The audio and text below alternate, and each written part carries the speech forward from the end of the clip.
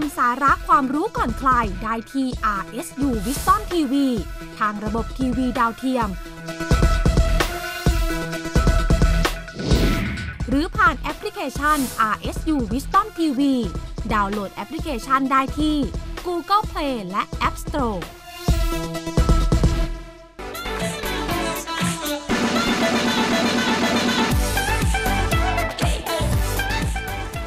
กลับเข้ามาในช่วงสุดท้ายของรายการครับในช่วงของ Wisdom Worldwide ครับวันนี้ก็มีข่าวสารจากทั่วทุกมุมโลกเลยครับมาฝากคุณผู้ชมครับ มีข่าวอะไรบ้างครับคุณส้มครับ ค่ะแน่นอนค่ะ ประเทศแรกที่จะไปอืมค่ะ ต้องไปชิลีค่ะ เพราะว่าตอนนี้เนี่ยครับจะพาคุณผู้ชมไปดูมัมมี่เขาเป็นการค้นพบด้วยนะคะเขาบอกว่ามัมมี่เนี่ยแหละค่ะคาดว่าเป็นคนในยุค 900 ปีก่อน ใครไม่รู้จักมัมมี่เดี๋ยวพาไปรู้จักกันเมื่อ 900 ปีก่อนค่ะ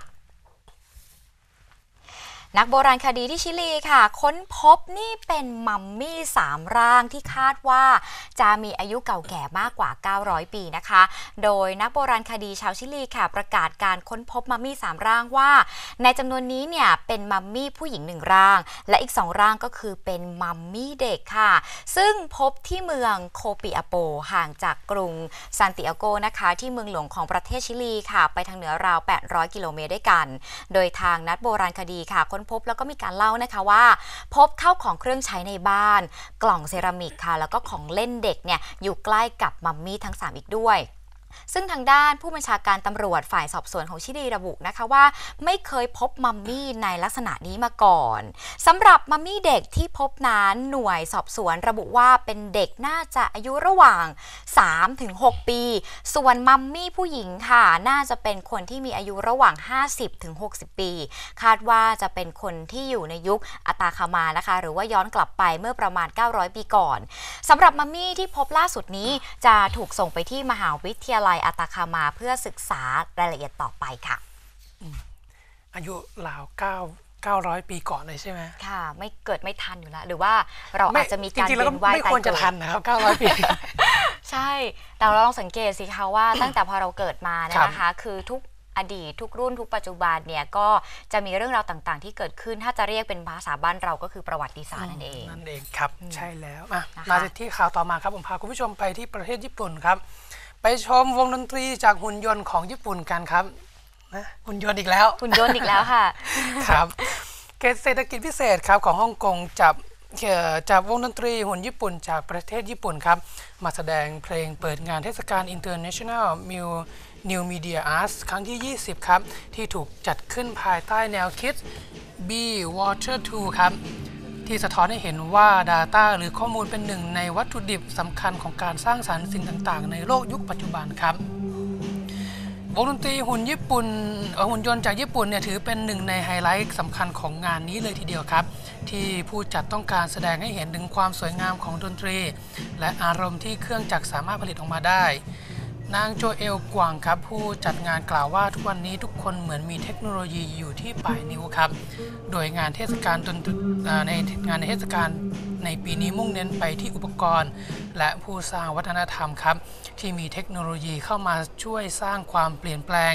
และถือเป็นการปฏิวัติอุตสาหกรรมรูปแบบใหม่ ที่เทคโนโลยีช่วยให้ทุกคนสามารถสร้างสรรค์ผลงานได้นั่นเองครับ ผลงานศิลปะที่ใช้เทคโนโลยีเข้ามาช่วยสร้างสรรค์อื่น ๆ ที่นำมาจัดแสดงในงานนี้รวมถึงต้นไม้ที่ปลูกไว้ในตะกร้าแขวน ที่สามารถส่งเสียงต่างๆ ออกมาเมื่อมีคนมาสัมพันธ์ Radiance Escape ครับ เครื่องมือจัดเก็บข้อมูลที่มีภาพ และเสียงที่เกิดจากการรวบรวมข้อมูล รังสีที่แผ่ออก I มา focus ของ on เว็บไซต์ s e p c a r d org และ StreetGo ครับ ของศิลปินอิตาลีนั่นเอง ที่นำภาพคนที่อยู่ที่พบอยู่ใน Google Street View เนี่ย พิมพ์ออกมาให้มีขนาดเท่าตัวจริง และนำไปติดไว้ในเอ่อบนภาพอาคารที่พบผู้คนเหล่านี้ เพื่อให้ผู้คนตระหนักถึงปัญหาในเรื่องของความเป็นส่วนตัวและลิขสิทธิ์นั่นเองครับ ค่ะดีเหมือนกันนะคะ เหงาเมื่อไหร่มีวงดนตรีญี่ปุ่น ถ้าอยู่ที่บ้านเนี่ยสนุกเลยค่ะ ครับหุ่นยนต์นี้แทบจะเข้ามาเป็นส่วนหนึ่งของชีวิตของผู้คนในอนาคต แน่นอนนะคะ แต่ก็ถ้าทุกพูดวงการนะแล้วจริงจริงๆทุกๆอย่างเลยมันก็อาจจะครับไม่ดีบางอย่าง เพราะว่าบางทีพอไม่หุ่นยนต์ทำให้อืมหมดเนี่ย คนเราก็จะไม่ใช้ความสามารถที่มีอยู่อะสิใช่นะคะก็พยายามแล้วกันเนาะใช่มีครัสิ่บงที่อำนวยความสะดวกก็ช่วยกัน แต่ว่าถ้าเราพยายามทำได้ก็พยายามทำแล้วกันครับก็ถือว่าเป็นนวัตกรรมอ่าทางเทคโนโลยีที่น่าสนใจแล้วกันนะนะคะครับค่ะน่าจะมีที่บ้านเราบ้างก็ดี อะไปต่อกันที่อีกหนึ่งงานศิลป์ค่ะ คนที่ชื่นชอบกาแฟต้องดูเลยนะเพราะว่านี่เป็นกาแฟค่ะที่แพร่หลายในฟิลิปปินส์นะคะ กาแฟจะเป็นอย่างไรที่มีการแพร่หลายนะคะเดี๋ยวเราไปติดตามกันค่ะ ศิลปินชาวฟิลิปปินส์ค่ะเขาบอกว่าเป็นการผุดไอเดียบรรเจิดรังสรรค์ ผลงานศิลปะจากกาแฟขั้วบดนะคะแล้วก็ได้มีการนำผลงานนี้ค่ะ ไปจัดแสดงตามหอศิลป์อีกหลายแห่ง นี่เป็นความคลั่งไคล้ในกาแฟทำให้เอลลาฮิปโปลิโตค่ะ ซึ่งจบจากสาขาโฆษณา มีความคิดที่จะนำเมล็ดกาแฟมาสร้างงานศิลปะใหม่ๆ ทั้งในรูปแบบของภาพวาดและงานปั้น ซึ่งนี่ก็เป็นผลงานของเธอนะคะที่ได้รับการยกย่องว่าเป็นผลงานที่มีมิติในแง่ของกลิ่นหอมอีกด้วยสำหรับฮิปโปลิโตเนี่ยบอกว่ากาแฟที่นำมาใช้ค่ะ ก็จะมีเป็นพันอาราบิก้าแล้วก็โรบัสต้านะคะ ซึ่งในการสร้างสรรค์เนี่ยผลงานใหม่ๆออกมาจำเป็นต้องเริ่มจากลักษณะพื้นผิวที่แตกต่างกัน และการใช้สีของกาแฟในการผสมเฉดสีต่างๆ เป็นการไล่ระดับความเข้มอ่อนของสีที่ได้ จากการคั่วกาแฟค่ะ หรือว่าเมล็ดกาแฟที่คั่วเนี่ยนะคะทำให้ชิ้นงานดูมีมิติมากขึ้น บางครั้งเธอบอกว่าจะทดลองผสมเมล็ดกาแฟเองทำให้ได้สีเฉดที่ต่างออกไป ก่อนจะปิดท้ายด้วยการใส่สารกันบูดเพื่อรักษาชิ้นงานนั้นๆ ค่ะ ซึ่งขั้นตอนทั้งหมดนี้เนี่ยใช้เวลาประมาณ 3-5 วันเลยนะสำหรับผลงานแต่ละชิ้นที่เธอสร้างสรรค์ขึ้น ส่วนใหญ่ก็จะเป็นภาพวิวทิวทัศน์ ภาพล้อบุคคล ภาพสัตว์ รวมถึงภาพนามธรรมนะคะ ที่เธอเนี่ยอบอกว่าทำให้นึกถึงครอบครัวเวลาที่สร้างผลงานพวกนี้ขึ้นมา รวมถึงประเทศฟิลิปปินส์ด้วย โดยราคาผลงานศิลปะของเธอค่ะจะอยู่ที่ชิ้นละ 100ถึง1,200 เหรียญค่ะ หรือถ้าตีเป็นเงินไทยก็ประมาณ 350 บาทถึง 7,000 บาทเลย ขึ้นอยู่กับขนาดแล้วก็ความละเอียดของผลงานนั่นเองก็คือใครใครที่เข้าไปเอ่อ ในร้านใช่ไหมครับค่ะหรือว่าไปที่บ้านเนี่ยคงจะมีแต่กลิ่นของกาแฟใช่แต่จริงๆกลิ่นหอมนะกาชแฟอบเอชออบชอบ ต้องสังเกตไหมสมมติไปดมน้ำหอมเยอะๆเขาจะครับบอกว่าคุณลูกค้าคะดมกลิ่นกาแฟหน่อย เดี๋ยวดมเมล็ดกาแฟห้ามกลิ่นกาแฟอืมจะได้ไม่เวียนหัวไงคือกลิ่นจริงมันปะจะช่วยจริงอะซื้อน้ำหอมเยอะๆดูหลายกลิ่นดมหลายกลิ่นแล้วก็ต้องดมเมล็ดกาแฟ จะได้ไม่เวียนหัวไม่เคยละสิ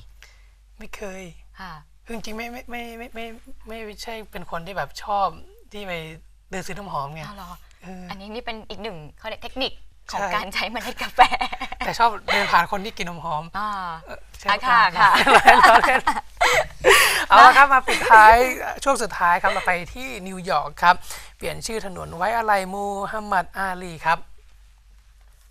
ถนนอาลีครับในนครนิวยอร์กเปลี่ยนชื่อถนนข้างเมดิสันสแควร์การ์เดนครับ เป็นชื่อมูมูฮัมหมัดอาลี ร่วมไว้อาลัยให้ตำนานนักชกรุ่นยักษ์ชาวอเมริกันขวัญใจชาวโลกนั่นเองครับ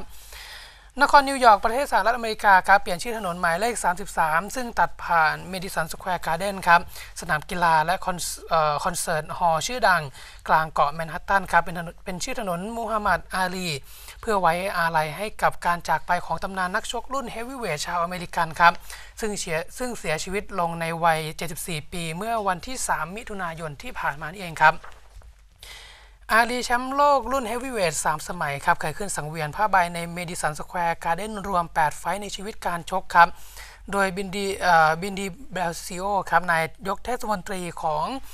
อนครนิวยอร์กบอกว่าการเปลี่ยนชื่อถนนใจกลางมหานครแห่งนี้เป็นชื่อมูมูฮัมหมัดอาลีชั่วคราว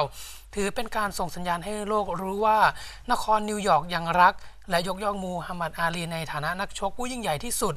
ก่อนที่ครอบครัวของอาลีจะจัดพิธีศพให้เขาที่บ้านเกิดในเมืองหลุยเอ่อเมืองหลุยส์วิลล์ครับ รัฐเคนทักกี้ในวันศุกร์นี้ตามเวลาท้องถิ่นครับค่ะอืมก็ถือว่าเป็นการตั้งเอ่อ ชื่อถนนเพื่อเป็นการให้เกียรติมูมูฮัมหมัดอาลีนั่นเองค่ะแล้วใช่ก็ไหมเป็นครับการระลึกแล้วก็นึกถึงด้วยอืมครับค่ะเอาละค่ะคุณผู้ชมคะวันนี้ก็ครบถ้วนแล้วนะคะ ทั้งหมด 4 ช่วงด้วยกันกับรายการ Wisdom Station ค่ะคุณผู้ชมสามารถติดตามรายการของเราได้ใหม่นะคะ เป็นประจำแบบนี้ค่ะ ทุกวันจันทร์ถึงวันศุกร์เวลา 16 นาฬิกาเป็นต้นไปทาง RSU Wisdom TV และก็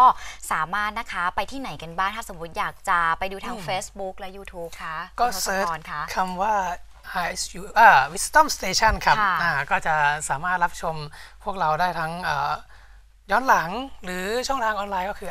www.iutv.tv นั่นเองครับ แน่นอนค่ะ ชอบกดไลค์ถูกใจต้องกดแชร์ด้วยนะคะ วันนี้เราสองคนและทีมงานลาไปก่อน สวัสดีค่ะ สวัสดีครับ